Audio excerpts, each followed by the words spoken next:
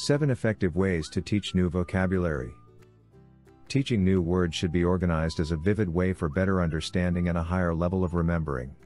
These activities are easy to implement with any group of students.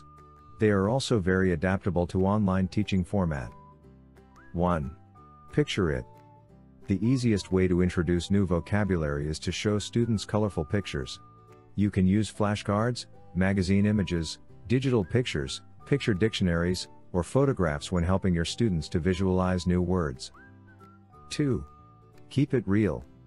Students will remember new vocabulary better if you use real objects in the introduction. It's also a great method of teaching kinesthetic style learners as they'll form stronger connections between real things and lexical concepts. Simply show an object, say the word, write it on the board, and pass the object around and ask each student to repeat the word. 3. Tell it like it is. This activity is the best for teaching synonyms even without digging too deep. Before introducing a new word, describe a scene in which this word would be used. Then, in the next sentence, use the new vocabulary. For example, I eat too much food. I overeat. 4. Sing it out loud.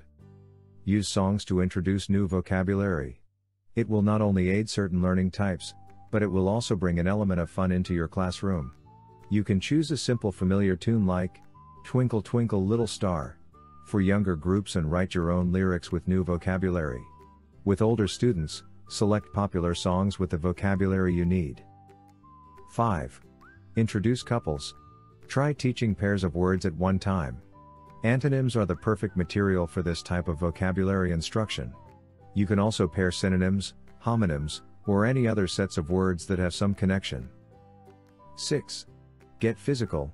Use total physical response, the ESL technique that links a physical movement to English words. Illustrate new words through action as you introduce the word to your students. They repeat the words and the actions that go along with them. 7. The root of the issue.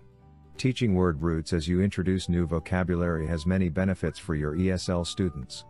It gives them tools for understanding new vocabulary they have yet to encounter, helps them see the relationships between words, explains the difference between the parts of speech, and can even help them make links between their native language and English.